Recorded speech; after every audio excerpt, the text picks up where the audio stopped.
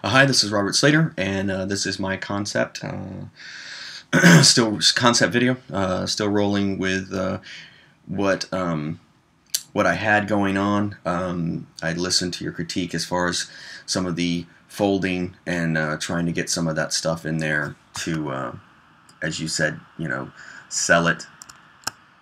added in the teeth, and because in the reference it had kind of like some baby stuff going on um, that I couldn't really, I couldn't get it to sculpt out right. I, I knew what I wanted to do in my head, but I couldn't get it to work out. So I kind of just said, okay, forget the reference for a few minutes and maybe sculpt something else into it, which I did.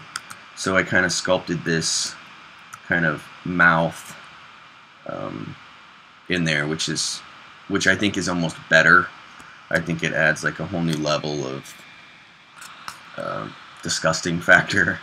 Um, most everything else uh, is done, added in the fingernails, uh, these teeth, those teeth. Um, I tried to do some fiber mesh stuff for the hair because I really kind of want that stringy uh, look, and I just couldn't get it. I'm gonna have to watch some more videos on it, how to how to really get that going. Um, other than that, everything else I would say is is pretty much done with this. Um, I kind of wanted to know, um, and if you could contact me about uh, uh, poly painting this, um, posing it, uh, things like that. I'm going to create a base for it tomorrow and really kind of get started on that and maybe just pose it out as a digital maquette. Um, which I think would kind of be a better look for this than than an actual asset. Like I'll always, you know, I'll keep this as it is and then just make a new file and, and, and pose this guy out and get him looking uh, pretty creepy. But uh, other than that, um, I'd say that this guy is pretty much done, I would think.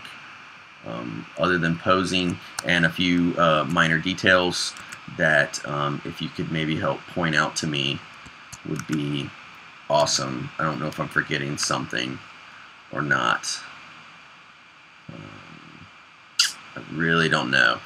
Um, and during the posing, I'll probably sculpt a little bit more of um, when I get him into position, uh, more kind of like sagging, hanging kind of flesh uh, coming off the arms and, and, and, things like that, pushing and pulling.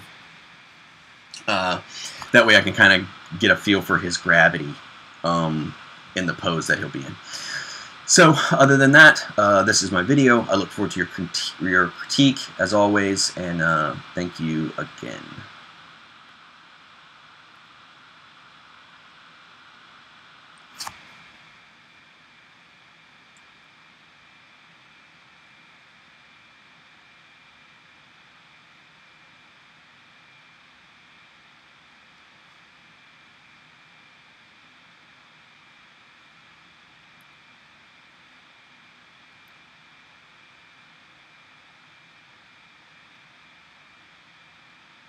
Did it, did it not work?